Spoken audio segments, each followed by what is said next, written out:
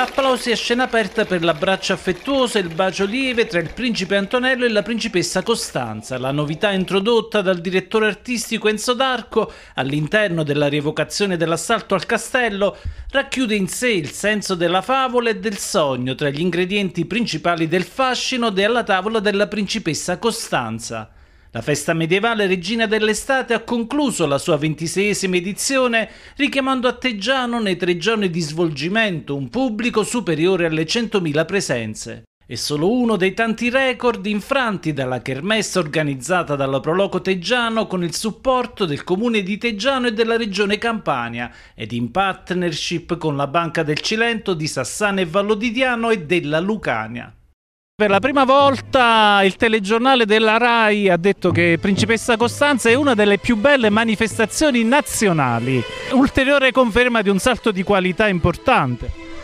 Beh, certamente è una grande soddisfazione, io, io ne sono stato sempre convinto, però ovviamente il mio giudizio è sempre parziale, quindi... Eh detto da, da, da, autorevoli giornalisti la cosa fa piacere quindi eh, è un motivo di orgoglio per, per, noi che organizziamo e questa manifestazione è per noi parte di noi stessi, della nostra vita e quindi avere un giudizio eh, come questo da giornalisti autorevoli è una cosa che non può che far piacere. Quest'anno abbiamo portato delle, delle novità rilevanti e sono state tutte apprezzate, quindi questo è per noi motivo di orgoglio e di grande soddisfazione. Anche noi della banca che abbiamo partecipato in questi tre giorni abbiamo vissuto in un'epoca medievale, abbiamo vissuto delle emozioni uniche e siamo felicissimi di questo. Quindi il bilancio non può che essere positivo sia nella organizzazione che nella partecipazione di pubblico,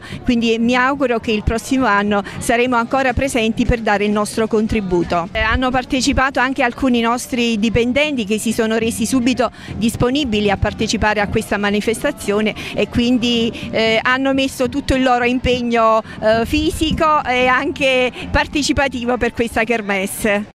Abbiamo provato a metterci anche un briciolo di favola, provando a, attraverso eh, l'incontro